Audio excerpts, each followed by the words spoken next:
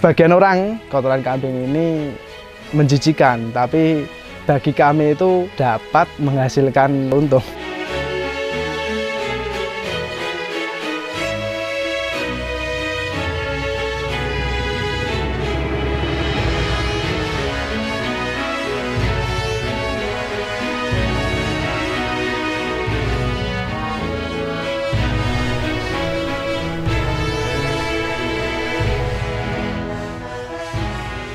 Perkenalkan, nama saya Aziz Budi Rohmat, pengolah kompos organik yang bernama Kosmik G2P. Saya itu di Dusun Seuan 1, Desa Seuan, Kecamatan Dukun, Kabupaten Magelang.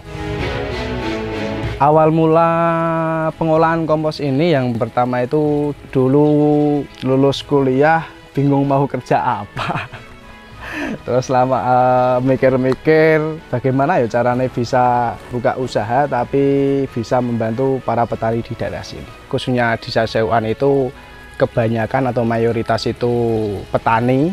Terus yang kedua itu dulu itu masih menggunakan pupuk kimia yang berlebihan bahkan sekarang harga pupuk kimia sudah naik hampir dua kali lipat lah terus bagaimana caranya saya itu membantulah setidaknya untuk membantu petani untuk meringankan biaya produksi dalam pertanian. Terus kemudian bahan baku di sini kan mudah untuk mencarinya. Kalau masalah ilmunya itu emang dari dulu itu saya nol. Masalahnya apa? Waktu kuliah kan jurusan saya bukan di pertanian, Nah, terus bagaimana saya mencoba lihat-lihat di YouTube, terus belajar sama teman-teman, terus tanya-tanya ke dinas pertanian caranya mengolah pupuk yang benar itu bagaimana. Saya mengambil ilmu ilmu-ilmu itu. Untuk modal awal itu untuk pembelian bahan baku itu 5 juta, terus pembuatan gilingan itu sekitar 2 juta setengah.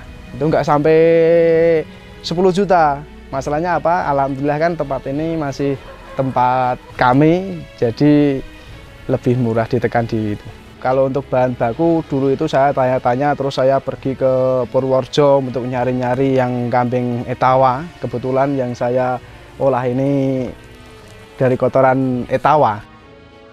Kenapa saya memilih kohe atau kotoran kambing itu? Yang pertama itu mudah diproses, pemprosesannya itu mudah dibandingkan kotoran-kotoran yang lain. Terus untuk kandungan itu setahu saya itu kotoran kambing itu lebih bagus daripada kotoran-kotoran yang lain. Kalau jenis kambingnya kebetulan yang kami proses itu hanya etawa mas. Masalahnya apa? Itu ternyata etawa sama yang kambing-kambing yang dipelihara oleh warga di sini itu beda mas. Yang pertama itu dari bentuknya. Biasanya kalau etawa itu lebih besar. Yang kedua itu biasanya kalau kambing selain etawa itu masih menggumpal-gumpal susah untuk dihancurkan. Nah kalau ini kan meskipun basah lah jarang untuk jarang menggumpalnya. Terus untuk lahan juga masih kecil kalau dulu itu hanya berapa meter Terus untuk pengolahan pupuknya itu ada orang yang istilahnya mengkritik atau memberi masukan lah. Dari situ saya bagaimana caranya untuk merubah bahan baku yang seperti ini saya olah menjadi pupuk atau menjadi halus. Kalau penggunaan pupuk ini pertama itu untuk cemplongan sebelum tanaman itu ditaruh ke lahan. Itu juga bisa. Yang kedua itu buat kocor, campuran kocoran juga bisa. Kalau enggak ya buat pembibitan, campuran pembibitan juga bisa. Kalau bahan-bahan untuk proses itu yang pertama itu bahan 100% saya dari kotoran kambing, terus mungkin saya tambahkan dolomit kapur itu. Masalahnya kan kegunaan dolomit salah satunya kan untuk meningkatkan pH. Terus saya kasih cairan untuk pengurainya itu nitrobakter. Terus kemudian saya olah untuk pengolahannya ini yang pertama itu bahan baku itu disortir. Masalahnya apa? Dalam penyortiran itu yang untuk menghilangkan benda-benda yang ada di kohe. Salah satunya ya daun. Terus kadang-kadang juga ada batu, kadang-kadang juga ada besinya. Setelah disortir itu dikasih dolomit, terus kemudian saya giling untuk penghalusan, kemudian baru saya kasih apa? Cairan nitrobakter tersebut. Kalau pemprosesannya itu mungkin satu hari untuk penyotiran, terus satu hari berikutnya baru produksi. Kalau fermentasinya itu kalau sini itu sekitar satu minggu dua minggu udah diambil sama petani. Sebenarnya kan kalau fermentasi itu lebih lama lebih bagus hasilnya. Tapi kalau di sini kalau petani udah saya apa ya kasih tahu tapi tetap digunakan. Tapi alhamdulillah dari petani itu tanamannya itu tidak ada kendala satupun. Setelah kami kasih cairan pengurai itu baru saya packaging ya mas ya. Packaging itu plastik saya masukkan ke dalam karung, kemudian baru saya jahit. Kenapa saya kasih plastik itu supaya dalam hal fermentasinya itu lebih bagus masalahnya kami itu menggunakan metode anaerob. Kalau untuk penggunaan pupuk ini kalau wilayah sini itu kan pertanian, itu biasanya untuk cabai dan yang lainnya. Terus ada juga dari Temanggung itu untuk buah, buah juga bisa. Bahkan untuk tanaman hias itu juga biasanya kalau warga-warga di sini atau yang lain, kalau wilayah Magelang lah digunakan untuk tanaman hias. Untuk kegunaan tanaman holti itu biasanya kalau petani itu yang pertama itu untuk cokolan tadi itu, cemplongan, terus yang kedua untuk cok, e, kocor. Bahkan untuk tanaman apa itu yang sudah tumbuh itu biasanya bisa disusulkan menggunakan kompos ini.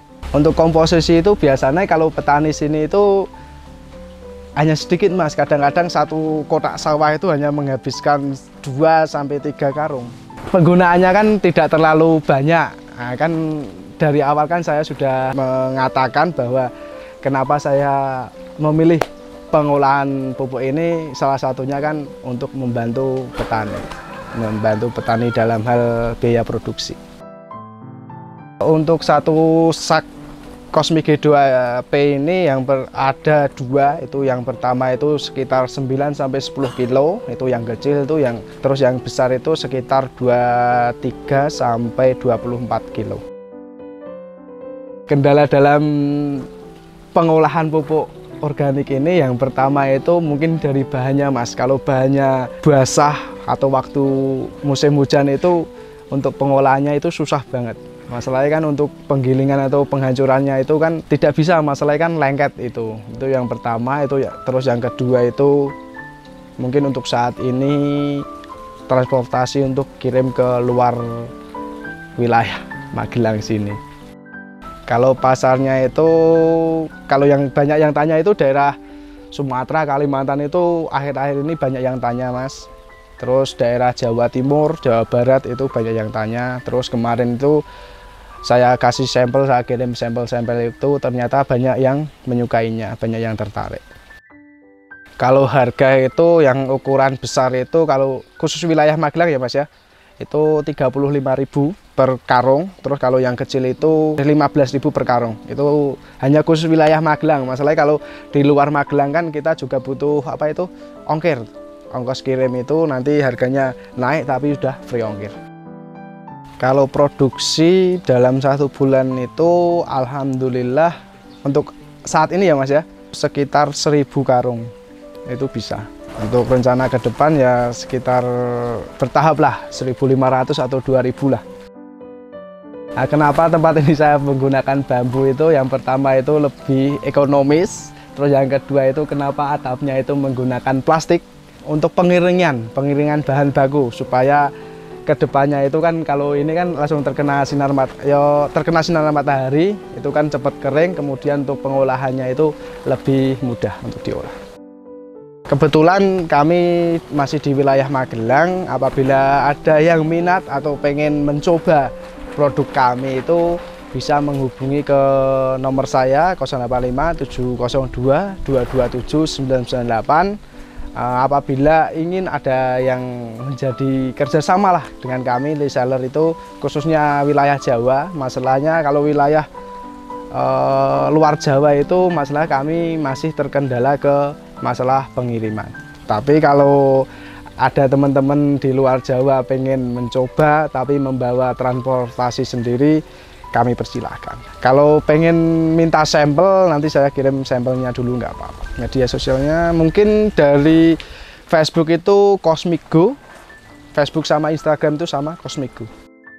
Kalau motivasi saya kenapa buka ini kan dari dulu saya pernah ngobrol sama teman saya itu bagaimana caranya mengolah bahan yang menurut orang lah biasa-biasa saja diolah menjadi emas mungkin itu terus kadang-kadang ada orang yang mengatakan kotoran kambing ini menjijikan tapi bagi kami itu dapat menghasilkan untung. Mungkin dari saya pribadi lah, untuk jangka panjangnya itu prospek lah. Terus teman-teman untuk memulai usaha itu mungkin yang paling susah itu langkah yang pertama. Kadang-kadang kita banyak mikirnya, mau usaha apa, usaha apa, kita fokus ini, tapi untuk langkah pertama untuk terjun ke yang kita pikirkan itu, kan kadang-kadang banyak kendalanya.